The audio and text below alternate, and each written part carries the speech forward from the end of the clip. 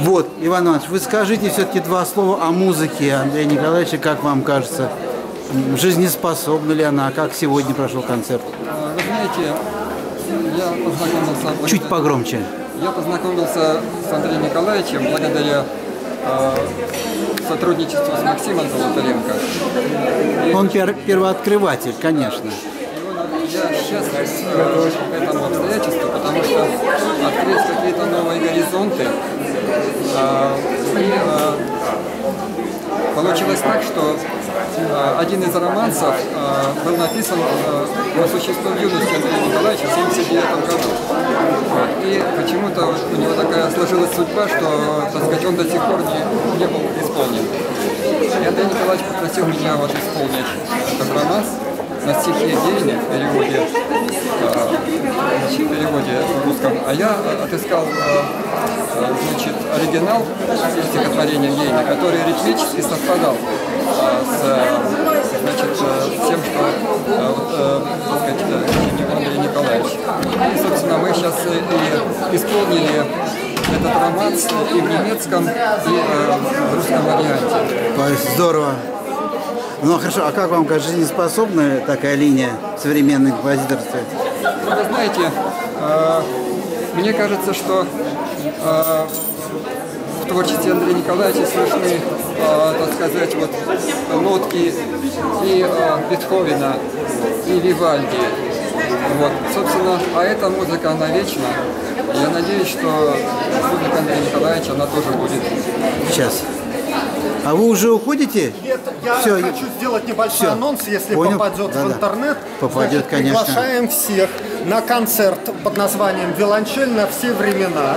Пилотное название, который пройдет в четверг, 11 ноября 2021 года в Большом зале Центрального дома ученых Российской Академии Наук. Вместе со мной, Евгением Прокошиным, в этом концерте примут участие симфонический состав оркестра «Кантус Фирмус» под управлением художественного руководителя и дирижера Александра Львовича Хургина и созданный мною оркестр имени Петра Ивановича Юргенсона, первого профессионального крупного русского музыкального издателя, нотопечатника, чей юбилей отмечается в этом году. С концерта, в честь юбилея которого я сегодня, собственно, прибыл, можно сказать, прибежал открытым текстом. Вот по соседству, значит, будет выступать праправнучка Петра Ивановича Анастасия Борисовна, президент благотворительного фонда Петр Юргенсон, хозяйка музыкальной гостиной имени Юргенсона.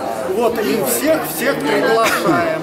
В том числе прозвучат произведения Петра Ильича Чайковского, посвященные династии семейству э, Юргенсонов. Всех приглашаем 11 ноября. А в наличии имеются также разнообразные диски с записями виолончельной музыки, концертов и пьес для виолончели с оркестром. Всех приглашаем 11 ноября Центральный дом ученых. Спасибо. Но с Всё. вас еще два слова о, о- об Антонюке. Правильно? Э, Да, Э, значит, музыка Андрея Николаевича, в, его Да. твор- в своем творчестве Андрей Николаевич продолжает Уже славную уходите. традицию. Об Антонюке два слова скажете потом? Или вы убегаете? Простите, хорошо. Славную традицию, которая идет в русской музыке Вместе. от Петра Ильича Чайковского уже в 20 веке. Николай Яковлевич Микусковский, Сергей Сергеевич Прокофьев, которые и Рингольд Морицевич Глиер, кстати, которые продолжали э, традицию культуры русской музыки, в своем творчестве продолжает уже не только в 20 но и в 21 веке наш дорогой любимый Андрей Николаевич Антонюк. Андрей Николаевич в своем творчестве трижды участвовал в организованном и руководимом мною фестивале музыки современных композиторов для виолончели, который носит, кстати, славное имя Петра Ивановича Юргенсона, вот, первого профессионального э, нотного издателя русского. Вот, собственно, э, я очень рад исполнять музыку Андрея Николаевича. Мы исполняли и сонаты для виолончели и фортепиано его лично я исполнял с э, разными пианистами. Исполнял его пьесы. Одна из пьес, э, я польщен, что посвящена лично мне, интермеццо до минор. Да, Вот э, большое, э, с моей стороны, большая благодарность Максиму Вячеславовичу Золотаренко за ту деятельность, которую он ведет и в отношении творчества Андрея Николаевича, и в отношении творчества многих современных нам композиторов замечательных.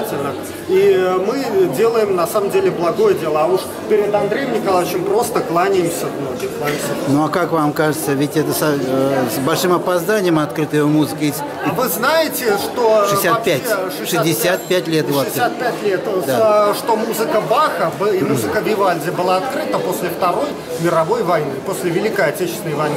Из-за юридических, налоговых проволочек, из-за всяких проволочек, там их родственников последующих поколений. Марин. Но открыто уже... Марина, вы уходите два слова сказать потом об Андрее Николаевиче? Скажете потом, да?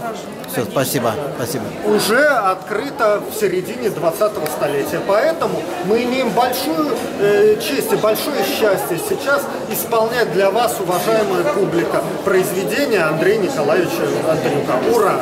Ура, спасибо. Ну а как вам кажется, у него нет совсем трагических нот, как вам кажется? Вы Иван Иванович, знаете, вы знаете, допустим, в эти семь слов Сейчас. э,